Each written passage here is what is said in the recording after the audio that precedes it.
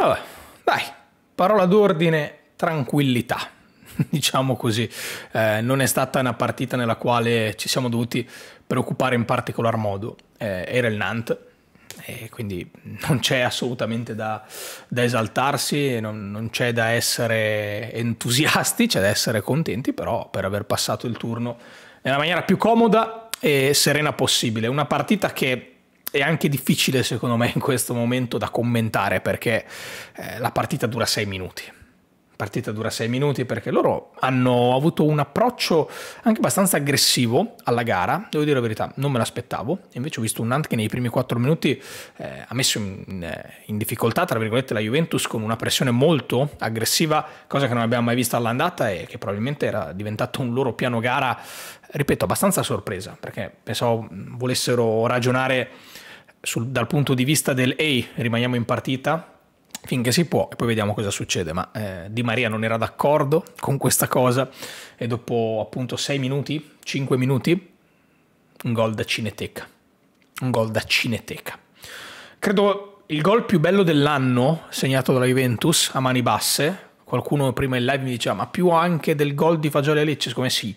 Secondo me sì perché andare a impattare di prima questa palla all'incrocio dell'area di rigore, metterla con quella parabola su quel palo, in quel modo. Io non so quanti giocatori al mondo siano in grado di fare un gol del genere con questa semplicità, picchiandola di prima intenzione. Non ne ho idea. Non lo so. Sono veramente pochi e, e quasi tutti hanno dei curriculum eh, di livello eccezionale e Di Maria è un giocatore che probabilmente negli anni è stato molto sottovalutato è stato ritenuto uno, un giocatore inferiore rispetto a quello che, che, può fare. Quindi 5 minuti di Maria mette il punto esclamativo su, su questa gara. E, poi ci sono alcuni minuti un po' di, di confusione, un po' palla io, un po' palla al Nantes e poi nuovamente ci pensa Di Maria. Ci pensa ancora Di Maria perché al ventesimo minuto si va a procurare un calcio di rigore dopo aver deciso di andare a lottare su quella palla vincendo un rimpallo in maniera fortunata ma anche coraggiosa perché poi la fortuna te la crei e quindi Di Maria tiene in campo quel pallone, tira in porta di tacco, altro pezzo del repertorio dopo il tiro a giro all'incrocio dei pali, il tacco e il dribbling. Eh, secondo me quel rosso è un po' eccessivo per il difensore del Nantes. Eh, credo che sia calcio di rigore, perché comunque lui va in scivolata, eh, la palla stava entrando, però mi sembra un movimento anche abbastanza naturale, abbastanza congruo del, del braccio, quindi non lo so, secondo me Rossi è un po' eccessivo, poi da regolamento probabilmente è stato punito, immagino, la chiara occasione da gol, perché senza quel braccio il gol sarebbe stato convalidato, però se sei il Nantes e ti ritrovi sotto di due gol, anzi sotto di un gol, più un calcio di rigore che va a battere Di Maria, più un uomo in meno, contro la Juventus. Penso che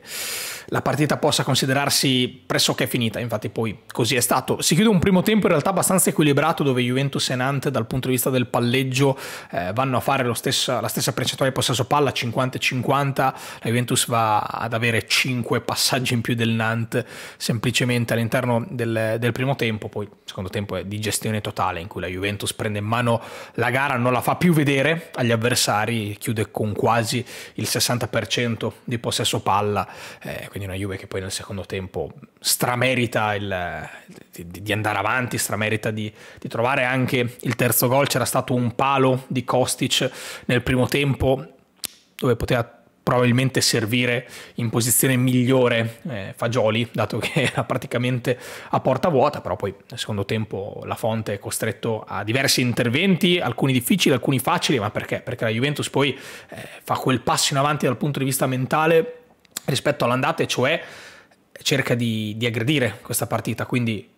possesso sì, ma quando ne ha l'occasione va eh, anche a chiudere. Poi mh, non è riuscita a trovare in tante occasioni il gol del 3-0, 3-0 che arriva eh, invece da, da, un altro colpo di testa di Di Maria, questa volta vibra la, la goal line technology, eh, un po' come in occasione del terzo gol di Ronaldo con l'Atletico Madrid, se vogliamo fare un parallelismo, perché in Europa era da quella sera che la Juventus non andava a fare la tripletta con uno dei suoi giocatori fenomenali, fenomenale come è stato Ronaldo, fenomenale è Di Maria, perché non, non ci sono altri aggettivi per descrivere un giocatore così importante, Juventus che si porta sul 3-0 in un'azione molto confusa nella quale Alexandro decide di, di, mettere i bastoni tra le ruote pure a Vlaovic che non riesce quindi ad impattare bene il pallone. Eh, il gol era già stato fatto Di Maria aveva già di testa varcato la linea della porta difesa dai francesi. E non c'è più partita non c'è più partita. E in realtà devo dire la verità sono stato molto deluso da Ken perché secondo me in una situazione come questa in cui la Juventus poteva tranquillamente passare il girone, passare il turno eh, dello spareggio anche senza Vlaovic, in un momento in cui Vlaovic dal suo ritorno in campo post infortunio a gennaio si è dovuto fare tantissime partite ravvicinate e quasi sempre senza rifiatare, anche magari a distanza di due o tre giorni. In un momento in cui Ken statisticamente rende molto di più partite in corso piuttosto che da subentrato in un momento in cui la Juventus non aveva chissà quale tipo di panchina lunga, giocare con Ken dal primo minuto non mi sembrava assolutamente un azzardo, anzi perché il Nantes, eh, vista l'andata, è stato poca roba, Nantes vista il ritorno, è stato poca roba, c'è stata una differenza abissale tra le due formazioni.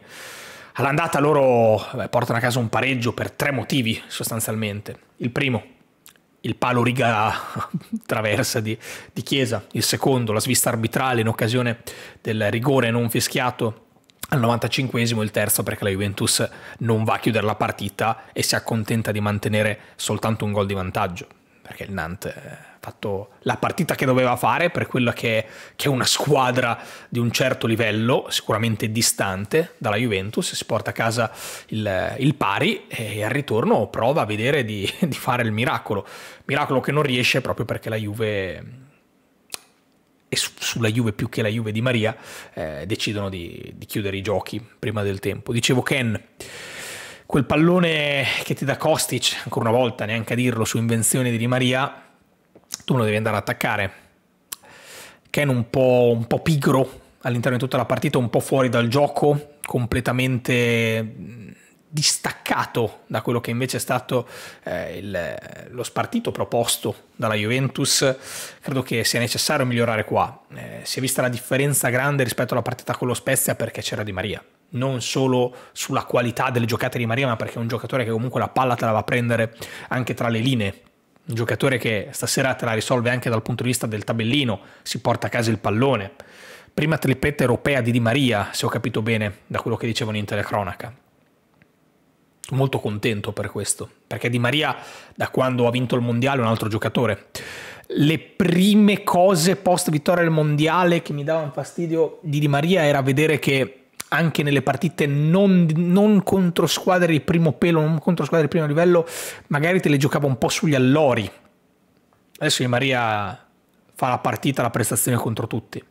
Si mette a disposizione della squadra, perché è un giocatore di qualità che ti fa anche la quantità, non ha paura di andare a fare il recupero, non ha paura di venire basso a prendere la palla ed aiutare la squadra nei momenti difficili, ed è un giocatore che negli ultimi metri ti fa fare gol, ti fa gol, ti fa la giocata, ti fa il dribbling, ti crea il calcio piazzato, un giocatore che in fase di costruzione è indispensabile perché ti fa girare la squadra. Oggi siamo decisamente, totalmente, completamente di Maria dipendenti. Di Maria ci ha, ci ha trascinato. Questa sera è stata veramente una partita nella quale devi semplicemente applaudire e ringraziare il fatto che, che ci sia. Sembrano passati millenni, no? anni luce da quando si faceva buttare fuori contro il Monza, eh, con quel brutto fallo di reazione nei confronti di Izzo. Sembra un altro giocatore, è lo stesso, sembra un'altra stagione, è la stessa, sembra un altro contesto, e forse lo è perché la Juventus stasera si qualifica effettivamente per gli ottavi di Europa League, domani alle 12 ci saranno le estrazioni per vedere contro chi andremo a giocare, per il momento godiamoci questo trionfo per 3-0 perché in stagione non è successo tante volte di poter respirare quell'area di tranquillità e di partita già sbrogliata dopo solo 15-20 minuti di gioco. Questa sera è capitato, tanto abbiamo Di Maria, Juventus che mai questa sera ha avuto il dubbio di non poter passare. Ripeto, secondo me è stato un po' esagerato quel rosso, forse un po' pesante, magari dal regolamento giusto, però lì la partita è completamente implosa su se stessa. Fatemi sapere un po' le vostre sensazioni. Totalmente meritato il passaggio del turno da parte della Juve tra andata e ritorno, ha dimostrato di essere la squadra più forte. Probabilmente non ce n'era bisogno, ma anche il campo ha detto questa cosa La cosa più importante secondo me stasera è che abbiamo veramente respirato quell'aria di squadra che sapeva che avrebbe vinto la partita e questa cosa ci mancava.